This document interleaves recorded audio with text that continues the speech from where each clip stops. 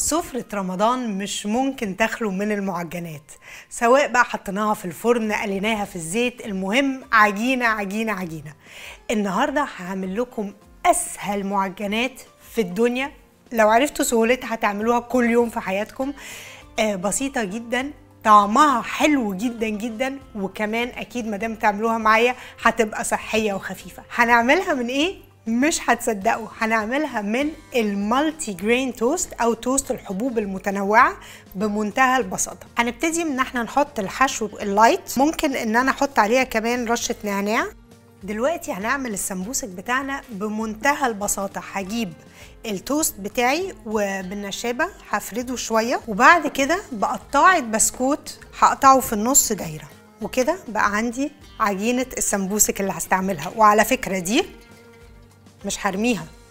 دي هستعملها وهعمل لكم حالا وصفة تانية مغذية جدا للسحور. هعمل حاجة أنا بسميها كيكة الأومليت. هتشوفوا هعملها إزاي وهستعمل فيها العيش ده. عايزة أقول لكم بس الفرق ما بين التوست القمح الكامل ال brown toast أو التوست البني وال multigrain toast. لأن في فرق ممكن الناس تتلخبط فيه. التوست البني هو عبارة عن أو الخبز البني عبارة عن القمحايه بالقشرة بتاعتها والقشرة دي طبعا بتدينا ألياف وبتدينا شوية فيتامينات ومعادن. أما ال multigrain أو الحبوب المتنوعة زي ما اسمها بيقول ممكن ما تبقاش بني يعني ما تبقاش القمحيه بقشرتها تبقى القمحيه البيضة عادي ولكن عليها حبوب تانية زي الشوفان زي الصويا عليها بذور زي بذرة الكتان زي مثلا عباد الشمس. فلو بصيتوا كده هتلاقوا البذور والحبوب دي دي على فكرة لما بتخش الفرن كده وتتحمص بتدي طعم و crunch حلو جدا. نحشي بقى السمبوسك بتاعنا.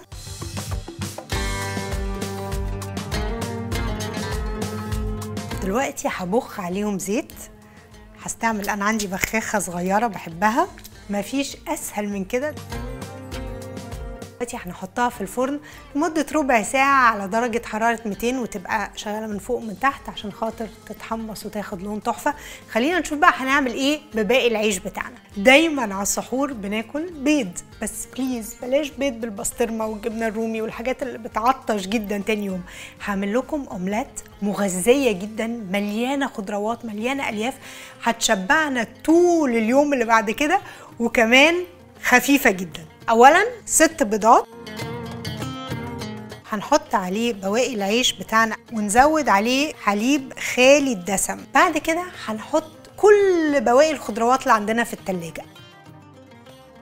بما إني ما استعملتش دهون خالص حليب خالي الدسم ميزة كيكة الأومليت ما فيهاش ولا نقطة زيت ولا زبدة هحط شوية جبنة بقى عشان تدي طعم حلو. وفي الآخر هحط عليها baking powder وأكيد ملح وفلفل. الكيكة بتاعتي جاهزة. العيش هيشرب كل اللبن والبيض. لو الصينية بتاعتنا مش non-stick حط شوية زيت في قعر الصينية كده عشان خاطر بس ما تلزقش.